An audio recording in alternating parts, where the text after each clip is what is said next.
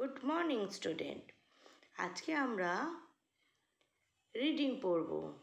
কীভাবে?